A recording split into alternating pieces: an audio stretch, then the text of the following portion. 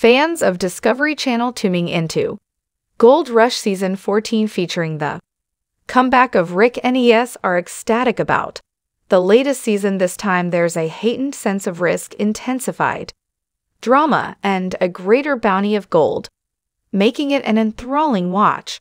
Furthermore, episode 3 titled Hey Parker.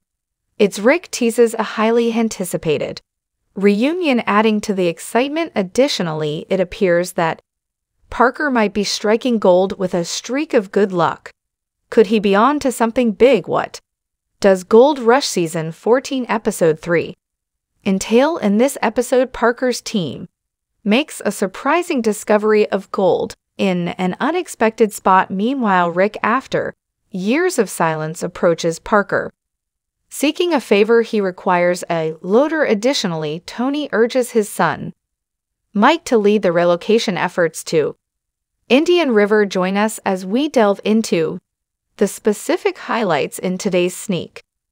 Peek after years of silence, Rick Ness and Parker Schnabel, well known to Gold Rush, enthusiasts for their complicated history. Finally, Reconnect Parker had discovered Rick when he was a stand up bass player for the 35's string band and convinced him to join his crew. Their relationship soured when Rick's ideas clashed with Parker's leading to frequent conflicts. Eventually, Rick formed his own mining team and they grew apart.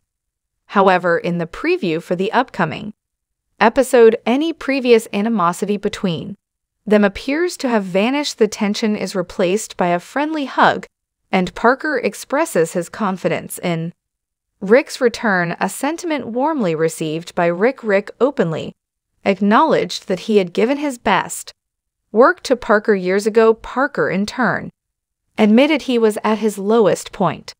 During that time, highlighting the immense effort they all put in Rick. Under deterred and determined is ready to commit once more having put everything on the line despite the past. Differences he seeks a favor from Parker. Now he needs a loader the question. Remains will Parker step up to help his old friend in the preview for Gold Rush? It's evident that Tony Beets misses his. Son Kevin Beets a significant aspect of Gold Rush's appeal lies in observing the miners' interactions and witnessing their skill. Development yet nothing quite compares to Tony Beets' frustration, especially when he has to guide his son Mike Beets into a role previously handled by Kevin. Beets the question lingers can Mike meet? His father's high standards make sure not to miss the premiere of Gold Rush. Season 14, Episode 3, titled Hey Parker. It's Rick airing on Friday, October 13th at 8 o'clock p.m. Eastern on Discovery Plus. Many interesting things are waiting for you to discover in this episode. In Gold Rush Season 14, fans witnessed the comeback of Rick Ness, who made a significant sacrifice by selling his mother's home to finance this season's mining venture now as Rick embarks on. This new chapter fans eagerly anticipate whether there will be a reunion of team, rally with the suspense lingering on, whether familiar faces from the past will join him once again a significant change in the upcoming season is Rick's decision to form an entirely new team he revealed that he chose to rebuild his crew from scratch, mirroring his fresh start in pursuing his gold mining dreams. During his year off, he took the time to reevaluate every aspect of his life. Surprisingly, he realized that assembling a reliable crew was a pivotal factor. Rick acknowledged this as the most crucial lesson he learned, stating in the past, I placed my trust in people too readily if I was going to commit to this. I wanted to invest more time in finding the right individual rules consequently. Team Ness 2023 marks the beginning of a completely new team for him in Gold Rush. Season 14, despite Rick Ness starting out new, there is a consistent presence in his life. His steadfast friend Rick. Disclosed that Z remained by his side, throughout serving as a constant support. When things took a downturn, even amidst his own responsibilities as a married man with a young child Z stood by Rick. When Rick proposed the idea of venturing back to the Yukon to restart their mining journeys readily joined him.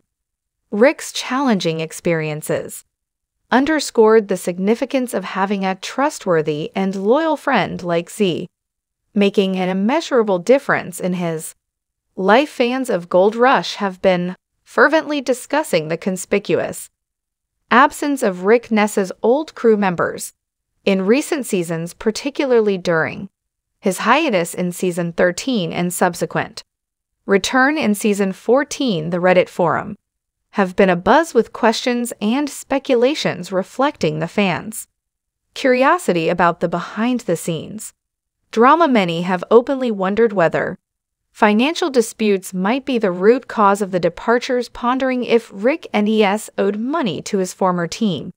Members one fan query delved into whether Rick's abrupt absence in the previous season left a sour taste among his crew, leading to strained relationships, and the decision by some members such as Brennan Ralt, Cruz Carl, and Carla to not reach join him in the latest mining venture. These questions highlighted the intrigue among the fan base as they attempted to decipher the reasons behind the significant changes in the show's dynamic, making Rick Ness's return and his new team all the more intriguing for avid Viewers previously there were circulating rumors concerning Rick. Ness's crew, particularly Team Rally, members suggesting that some of them might not be returning due to unpaid wages from Discovery in Gold Rush season.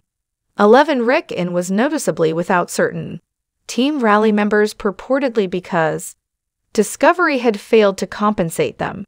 Allegedly, several individuals from Rick's team claimed they hadn't received Payment for their participation in Season 10 reports indicate that Rick Ness has been actively attempting to resolve this issue, investing substantial efforts in numerous phone calls and emails to address the matter. The root cause of the non payment rumor appears to be political differences. It's speculated that tensions arose during the filming of the 10th season due to conflicting political views between Discovery's European millennials and the politically incorrect cheeseheads referring to the Wisconsinites. These differences allegedly led to negative energy in strained relations, potentially resulting in the unpaid wages